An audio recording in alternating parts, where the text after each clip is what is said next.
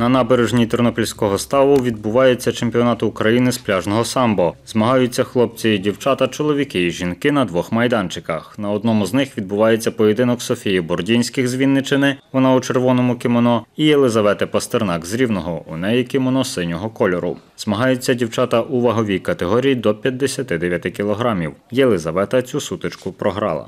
Ну тут була сильна дівчина, чесно кажучи, я вже спочатку, ну не скажу, що був прям страх виходить, але ну, навіть честь було поборотися, тому що Соня, вона ж е, чемпіонка Європи, і просто з нею поборотися хотілося навіть. Тому я ну не сильно засмучена, що програла. Перемогу у цій сутичці Софія Бордінських коментує так. Треба було боротися своєю бор- боротьбою, та я справилася все добре. А це сутичка хлопців у категорії до 71 кілограма. Переміг Степан Гонтарук з Хмельниччини. Це було доволі таки класно. Мені фле... ну, під пляжне самбо мені я не виступав ще ні разу, але мені сподобалось, бо це перший раз мій.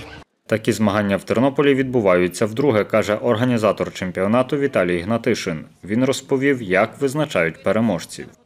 Правила дозволяють боротися тільки в стійці. Тому суперник той, хто виконує активну дію кидок, і він, отримуючи любу оцінку від найменшої за доторкання суперником піску, стає переможцем.